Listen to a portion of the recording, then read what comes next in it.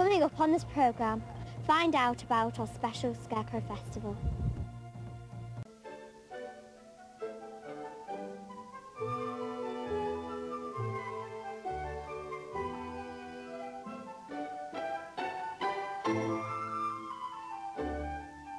Seven hundred and sixty scarecrows in one village is the target to beat, and counting is underway. Everyone, it seems, is in on the act. If you can't build one, the organisers will drop one off.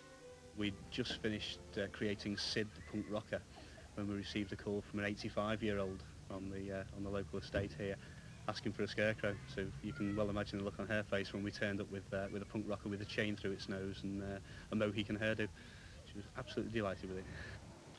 The Scarecrow Festival is instead of a summer fete. The money goes towards a new children's playground. It's all for a good cause. That's it. then. Oh. Yes, yes. And the crowds, young and old alike, are flocking to this rural village. It's great, isn't it? It's great fun for everybody. All the kids are really enjoying it. Kids are having a great time. It's wonderful, absolutely wonderful. Um, well, it brings people and it's a village community spirit, isn't it? I've been standing here ages and there's no Aunt Sally, no nice cup of tea and no slice of cake. But this guy and all his mates do seem to have brought this community together. It's enabled people to have a common point of discussion and you'll notice that uh, everybody's involved, whether they live in a big house or a cottage or wherever they live in the village and indeed in the parish as a whole. If you're driving in the area this weekend, a word of warning, speeders, beware. Simon Harris, Northwest Tonight, Rural.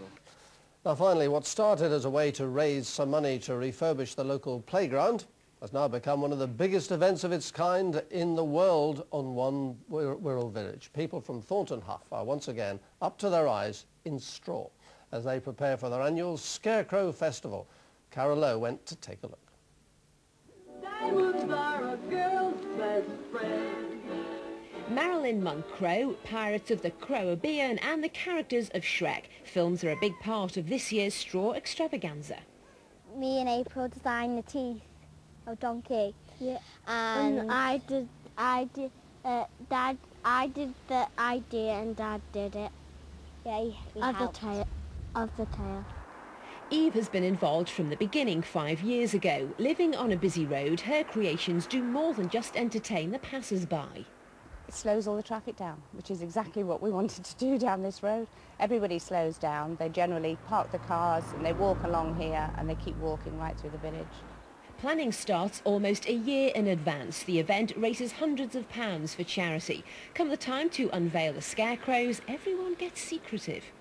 very few people will disclose what they're making in advance. And the garages and sheds of Thornton Hough uh, will be uh, uh, busy with people working away.